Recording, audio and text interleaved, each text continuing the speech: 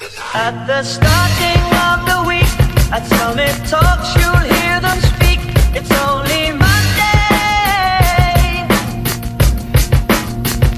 Negotiations.